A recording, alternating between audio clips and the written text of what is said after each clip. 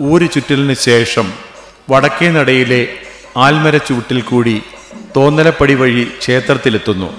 ഈ സമയം തിരുനടയിൽ ദാരിക ശിരസ് കാണുന്നതോടെ കലിയടങ്ങി തിരിമുടി ഇറക്കി വെച്ച ശേഷം കരിങ്കാളിക്ക് ഗുരുസി നടത്തുന്നതോടെ പന്ത്രണ്ട് വർഷത്തെ കാത്തിരിപ്പുകൾക്കും പ്രധാനിഷ്ടങ്ങൾക്കും ശുഭപരിസമാപ്തി കുറിക്കുന്നു.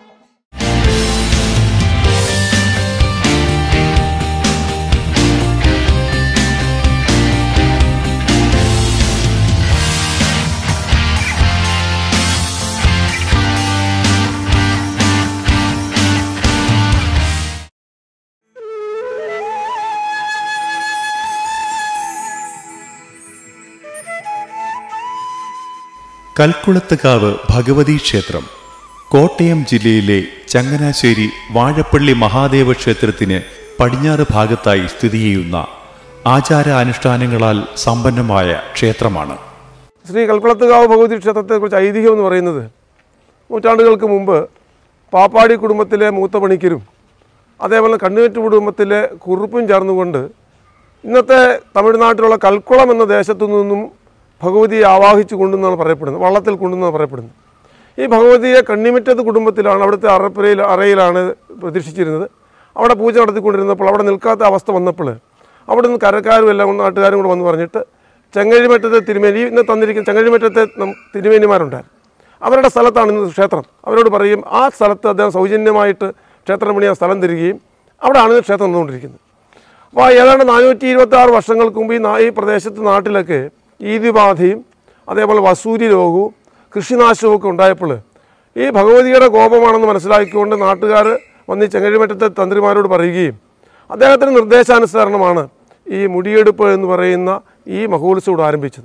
ശരിക്കും ഇത് ദാരികപദം കഥയാണ് അത് വരുന്നത്. ആ നാട്ടുകാരെല്ലാം കൂടെ സംഘടിച്ചുകൊണ്ട് ഇത് നാം ഒന്ന് ഒരു കാര്യം മനസ്സിലാക്കേണ്ടത്. നാനൂറ്റി ഇരുപതാറ് വർഷങ്ങൾക്ക് മുമ്പ് എന്ന് പറയുന്നത് അയിത്തവും തൊട്ടുകൂടായ്മയും തീണ്ടിക്കൂടായ്മയും ഒരു കാലഘട്ടമായിരുന്നു. പക്ഷേ ആ കാലഘട്ടത്തിലും ഈ നാട്ടിലെ മുഴുവൻ ആളുകളും എല്ലാ ജാതിയിൽപ്പെട്ട ആളുകളും ഇതിൽ ഒത്തൊരുമിച്ച് സഹകരിക്കുന്നു കാണാൻ സാധിക്കും. ആ കാലഘട്ടത്തിൽ കുറ്റിശ്ശേരി കോച്ചേരി കുടുംബത്തിൽ നിന്നും മധു എഴുന്നള്ളി മധു എഴുന്നള്ളിച്ച് വന്ന് മധു നിവേദിക്കുന്നുണ്ട്. പന്ത്രണ്ട് വർഷത്തിലൊരിക്കൽ ഭഗവതിക്ക് മധു നിവേശി നിവേദിക്കും. അതുപോലെ നാൽപ്പത് വീടുകളിൽ നിന്നാണ് ഈ ഈ താളം ചവിട്ടുള്ള കൊലവാഴകൾ കൊണ്ടുവരുന്നത്. അതോടൊപ്പം തന്നെ ഇവിടെ നിന്ന് അന്നത്തെ ദിവസത്തെ മുടിയെടുപ്പ് ദിവസത്തെ കൊലപാതകം കൊണ്ടിരുന്ന വാലടി എന്ന് പറയുന്ന പ്രദേശത്താണ് ഇന്നത്തെ ആലപ്പുഴ ജില്ലയിലാണ്. വള്ളത്തിൽ ജലമാർഗമാണ് അത് കൊണ്ടുവരാൻ നോക്കുകയുള്ളൂ അവിടെ നിന്നാണ്. അപ്പോൾ ഈ ജനങ്ങളും അതേപോലെ തന്നെ ജനപഥങ്ങളും ഈ ആളുകൾക്കൊക്കെ ഒരു സാമൂഹികമായ വ്യവസ്ഥിതി നമുക്ക് കാണാൻ സാധിക്കും. ആ നാനൂറ്റി ഇരുപത്തി ആറ് വർഷങ്ങൾക്ക് മുമ്പ് അയിത്തമൊക്കെ കൊടികൊണ്ട നാടുകളിൽ പോലും അയിത്തമോ തൊട്ടുകൂടായ്മയോ തീണ്ടക്കൂടായ്മയോ ഒന്നുമില്ലാതെ ഈ നാട്ടിലെ മുഴുവൻ ജനങ്ങളും വളരെ സഹകരിച്ച് പോകുന്നു എന്നുള്ളതാണ് സാധിക്കും.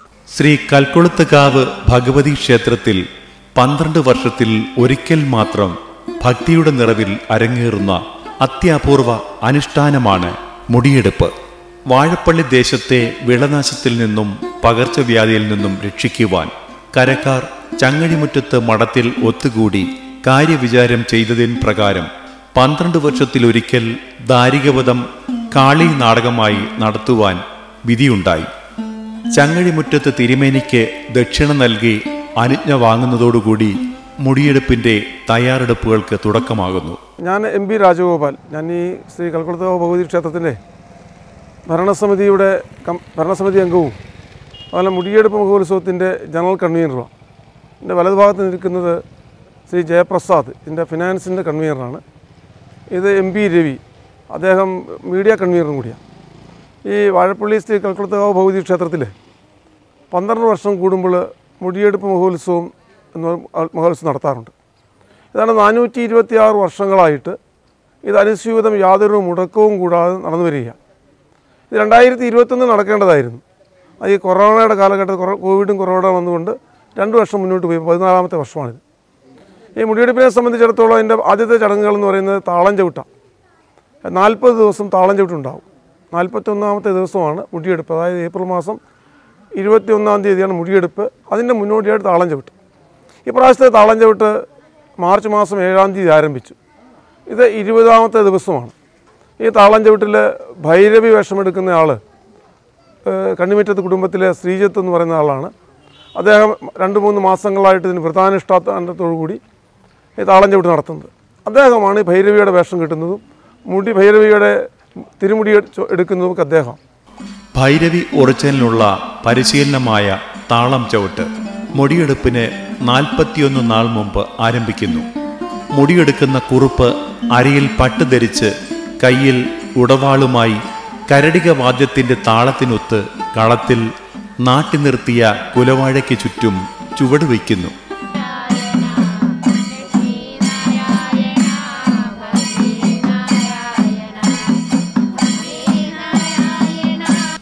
താളം മുറുകുമ്പോൾ ഉറഞ്ഞു തുള്ളി കുലവാഴ വെട്ടുന്ന ഇദ്ദേഹത്തെ ഉടവാൾ വാങ്ങി കലി അടക്കുന്നതോടുകൂടി താളം ചവിട്ട് പൂർത്തിയാകുന്നു.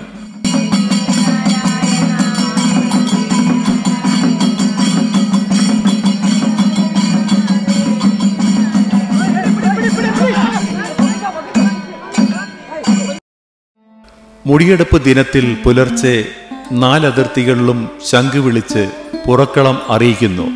നാട്ടിലെ പ്രമുഖ ഈഴവ കുടുംബമായ കോച്ചേരി കുടുംബത്തിലെ കാരണവർ പ്രത്യേക നിവേദ്യത്തിനുള്ള മധു വാദ്യമേളങ്ങളുടെ അകമ്പടിയിൽ ഘോഷയാത്രയായി ക്ഷേത്രത്തിൽ എത്തിക്കുന്നു. ശേഷം വാലടി കളരിക്കൽ തറവാട്ടിൽ നിന്നും ഭൈരവി ഉറച്ചലിനുള്ള കുലവാഴ വാദ്യമേളങ്ങളുടെ അകമ്പടിയോടെ ക്ഷേത്രത്തിൽ എത്തിക്കുന്നു. പിന്നീട് ക്ഷേത്രനടയിൽ വലിയ ഗുരുസി ആരംഭിക്കുന്നു. മുൻകാലങ്ങളിൽ ഉണ്ടായിരുന്നു എന്ന് പറയപ്പെടുന്ന മൃഗബലിക്ക് പകരമായി കുമ്പളങ്ങയാണ് ഇപ്പോൾ ഉപയോഗിക്കുന്നത്. വലിയ ഗുരുസിക്ക് ഏറെ ദർശന പ്രാധാന്യമുണ്ട്. ശേഷം നടക്കുന്ന ഉച്ചപൂജ സവിശേഷമാണ്. മുടിയെടുപ്പിന്റെയും കാവിലമ്മയുടെയും സന്ദേശം ജനങ്ങളിലേക്ക് പകരാൻ ഉച്ചയ്ക്ക് ശേഷം പ്രൗഢഗംഭീരമായ മുടിയെഴുന്നള്ളിപ്പ് നടക്കുന്നു. ശൂലങ്ങളും ചൂരലുമായി അറുകൊല പ്രതിനിധികൾ അകമ്പടി സേവിക്കുന്നു. പ്ലാവിൻ കാതലിൽ കൊത്തിയെടുത്ത അഷ്ടദളങ്ങളോടെയുള്ള സർപ്പബന്ധക്കൂട്ടിന് നടുവിലുള്ള ഭദ്രകാളിയുടെ രൗദ്രമുഖമാണ് തിരുമുടി. മുടി എഴുന്നള്ളത്തിന് ശേഷം ഉത്സവ ബലിക്ക് സമാനമായ മുടിപൂജ പാട്ടമ്പലത്തിൽ പ്രത്യേകം തയ്യാറാക്കിയ മണ്ഡപത്തിൽ നടക്കും. ക്ഷേത്രത്തിൽ എത്തിച്ച കുലവാഴ പാട്ടമ്പലത്തിന് മുൻപിൽ നിശ്ചിത സ്ഥാനത്ത് വച്ച് ചുറ്റും പാലക്കൊമ്പും ചൂരലും ചെത്തിയും കെട്ടി ഭൈരവിക്കളം ഒരുക്കുന്നു. ശേഷം ഭൈരവിക്കളത്തിൽ വലിയ ഗുരുസി നടക്കും. ഗുരുസി കഴിച്ച് ശുദ്ധമാക്കിയ കളത്തിൽ ഭൈരവി ഉറച്ചിൽ നടക്കുന്നു. കഥകളി വേഷത്തിൽ ചമയങ്ങൾ അണിഞ്ഞ് വട്ടക്കിരീടത്തോടുകൂടി ഭൈരവി തിരുനടയിലെത്തി നമസ്കരിച്ച് കരടിക വാദ്യത്തിന്റെ താളക്രമത്തിൽ പന്തം പരത്തുന്ന പ്രകാശവലയത്തിലൂടെ താളാത്മകമായി നടന്ന് ഭൈരവിക്കളത്തിൽ എത്തി മുറുകുന്ന താളത്തിനൊത്ത് ചുവട് വച്ച് കുലവാഴ വെട്ടുന്നതോടുകൂടി ഭൈരവി ഉറച്ചിൽ പൂർത്തിയാകുന്നു. പിന്നീട് പാട്ടമ്പലത്തിൽ നിന്നും മുടിപൂജ കഴിഞ്ഞ തിരിമുടി ശിരസിലേറ്റി തിരുനടയിൽ ദേവിക്ക് അഭിമുഖമായി വയ്ക്കുന്നു അവിടെ നിന്നും ശിരസിലേറ്റി ക്ഷേത്രത്തെ വലം വെച്ച് ഭൈരവിക്കളത്തിലെത്തി മുടിയിറക്കി പീഠത്തിൽ വയ്ക്കുന്നു. ശേഷം കാളിയും ദാരികരുമായി പോരുവിളി ആരംഭിക്കുന്നു. പോരുവിളിച്ച് കലി കയറുന്ന കാളി ഒറ്റക്കൈയിൽ മുടിയെടുത്ത് ശിരസിലണിഞ്ഞ് ഉടവാളുമായി ദാരികന് പിന്നാലെ അലറിപ്പായുന്നു. ദാരികൻ ഓടിമറയുന്നു. ദാരികന് പിന്നാലെ ഓടി വാഴപ്പള്ളി ശ്രീ മഹാദേവ ക്ഷേത്രത്തിന് പടിഞ്ഞാറേ നടയിലൂടെ അകത്ത് കയറുന്ന ഭദ്രകാളി വാഴപ്പള്ളി ശ്രീ മഹാദേവന്റെ അത്താഴ ശ്രീബലിയുടെ മൂന്നാം പ്രദക്ഷിണത്തിൽ പിതാവായ ശ്രീ പരമേശ്വരനെ പാർവതി നടയിൽ കാണുന്നു. സ്നേഹവാത്സല്യം നിറഞ്ഞ കൂടിക്കാഴ്ച കഴിഞ്ഞ് അത്താഴ ശ്രീബലിയുടെ പ്രദക്ഷിണം ഭദ്രകാളിയോടൊപ്പം പൂർത്തിയാക്കി കിഴക്കേ നടയിലെത്തുന്ന ശ്രീ മഹാദേവൻ പിതൃവാത്സല്യത്താൽ ഭദ്രകാളിക്ക് ഓണപ്പുടവയും വിഷുക്കൈനീട്ടവും നൽകുന്നു. ശേഷം ദേവി ഒരു വ്യാഴവട്ടക്കാലത്തേക്ക് ഭക്തജനങ്ങളുടെ ഓർമ്മയിൽ സൂക്ഷിക്കുവാനുള്ള അസുലഭ ദർശന പുണ്യം പകർന്ന് ശ്രീ മഹാദേവനോട് യാത്ര ചോദിച്ച് പിൻവാങ്ങുന്നു. തുടർന്ന് ഊരു ചുറ്റലിന് ശേഷം വടക്കേ നടയിലെ ആൽമര ചുവട്ടിൽ കൂടി തോന്നലപ്പടി വഴി ക്ഷേത്രത്തിലെത്തുന്നു. ഈ സമയം തിരുനടയിൽ ദാരിക ശിരസ് കാണുന്നതോടെ കലിയടങ്ങി തിരിമുടി ഇറക്കി വെച്ച ശേഷം കരിങ്കാളിക്ക് ഗുരുസി നടത്തുന്നതോടെ പന്ത്രണ്ട് വർഷത്തെ കാത്തിരിപ്പുകൾക്കും പ്രധാനിഷ്ടങ്ങൾക്കും ശുഭപരിസമാപ്തി കുറിക്കുന്നു. അത്യപൂർവമായി നടത്തപ്പെടുന്ന ഈ ചടങ്ങിൽ രാധാകൃഷ്ണൻ കണ്ണിമുറ്റം വെളിച്ചപ്പാട് ശ്രീജിത്ത് കണ്ണിമുറ്റം ഭൈരവി ബ്രഹ്മശ്രീ അഗ്നിശർമ്മൻ രാഹുൽ നാരായണ ഭട്ടതിരിപ്പാട് മാമ്പുഴയില്ലം തന്ത്രി അരവിന്ദാക്ഷക്കുറുപ്പ് ക്ഷേത്രപൂജാരി ശ്രീനി കണ്ണിമുറ്റം ദാരികനായും പ്രധാന ചുമതല നിർവഹിച്ചു. മുടിയെടുപ്പ് നാളിലെ ഭൈരവി ഉറച്ചിലിനുള്ള പരിശീലനമായ നാൽപ്പത് നാൾ നീണ്ടു നിൽക്കുന്ന വ്രതാനിഷ്ടങ്ങളോടെയുള്ള താളം ചവിട്ട് രണ്ടായിരത്തി ഇരുപത്തി മൂന്ന് മാർച്ച് ഏഴിനും വൈകിട്ട് ഏഴ് മുപ്പതിന് ക്ഷേത്ര മൈതാനിയിൽ ആരംഭിച്ചു. പന്ത്രണ്ട് വർഷത്തിലൊരിക്കൽ മാത്രം നടത്തപ്പെടുന്ന ഈ ചടങ്ങ് രണ്ടായിരത്തി ഇരുപത്തി മൂന്ന് ഏപ്രിൽ ഇരുപത്തിയൊന്നിന് കൽക്കുളത്തുകാവ് ഭഗവതി ക്ഷേത്രത്തിൽ ആചാരാനുഷ്ഠാനങ്ങളോടെ ഭംഗിയായി നടത്തപ്പെട്ടു.